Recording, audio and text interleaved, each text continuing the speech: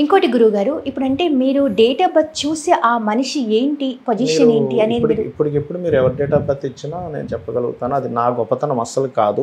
బాగా గుర్తుపెట్టుకోండి. ఇది కేవలం మనకి మహర్షులు అందించిన గొప్ప శాస్త్రం.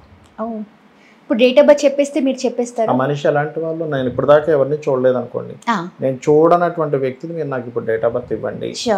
ఈ మనిషి ఏంటని నేను హండ్రెడ్ పర్సెంట్ చెప్పగలుగుతాను ఓకే కెన్ ఐ అప్పుడు మనం trial percent zero six zero six okay.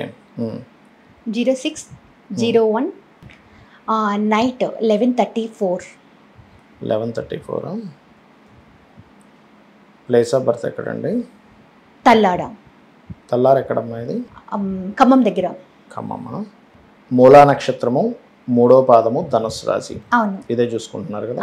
Right fine present అయితే చంద్రమహర్దశ నడుస్తుందమ్మా మీకు. చంద్రుడి యొక్క మహాదశ నడుస్తుంది.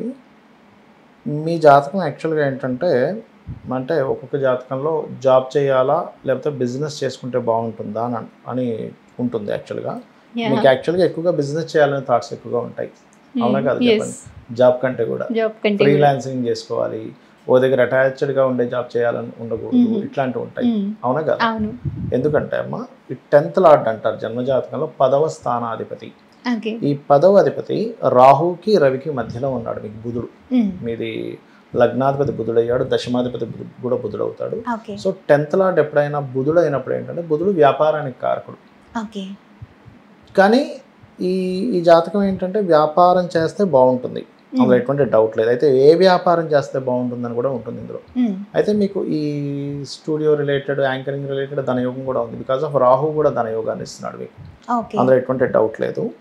అయితే మీకు ఒక విషయం చెప్తాను మీకు మరి. గుర్తుందో లేదో నాకు తెలియదు. చాలా చిన్నప్పుడు జరుగుతుంది మీకు ఈ విషయం. మీ four and half years of ఏజ్లో four and half five years నుంచి సెవెన్ ఇయర్స్ మధ్యలో ఏదైనా గండం గడిచి ఉండాలి మీకు. జలగండం లాంటిది బ్రీతింగ్ రిలేటెడ్ ఇష్యూస్. లాంటిది. గుర్తుందమ్మా నేను తప్పిపోయాను. సముద్రం దగ్గర పడిపోయాను. సముద్రం దగ్గర పడిపోయి తప్పిపోవడం. జలగండం అంటారు. జల ప్రదేశంలో ఆ ఏజ్లోనే జరిగింది నాకు ఇప్పటికీ వాటర్ ఆ ఫీలింగ్ వాటర్ భయం వాటర్ భయము వాటర్. ఫీలింగ్ బికాస్ ఆఫ్ గండ గండ స్థానాలు అంటారు.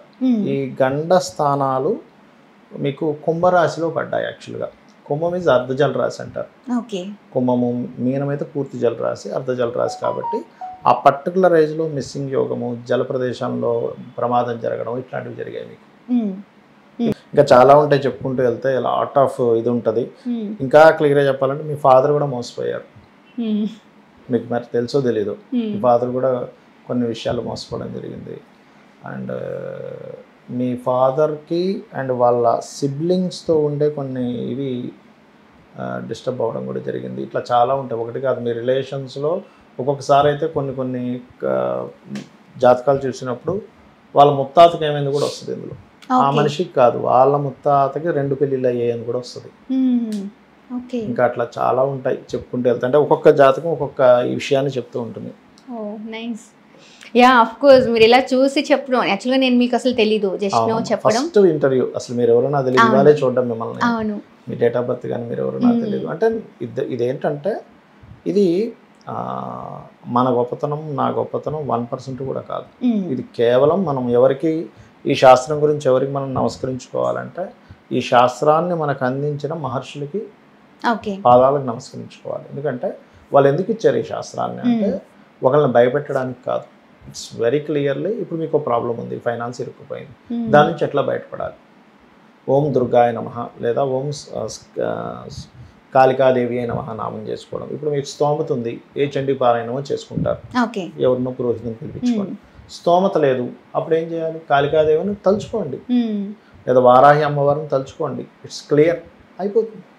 అంతేగాని అయ్యో నేను ఏదో భయపెట్టడానికో నీకు ఇట్లా అయిపోతుంది చూసుకోవడానికి దీనికి కాదు.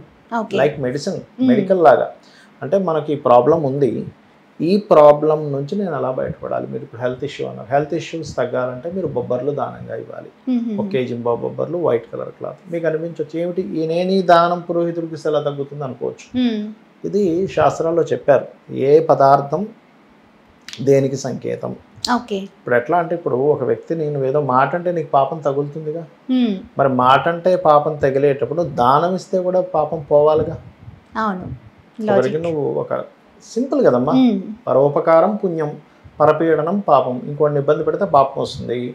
ఇంకోటి నువ్వు మంచి చేస్తే పుణ్యం వస్తుంది. క్లియర్ సబ్స్క్రైబ్ చేయండి. Subscribe to Please do subscribe to subscribe to Please like, share, and subscribe to Top Telugu TV Top Telugu TV. Top Telugu TV. Top Telugu TV. Top Telugu TV.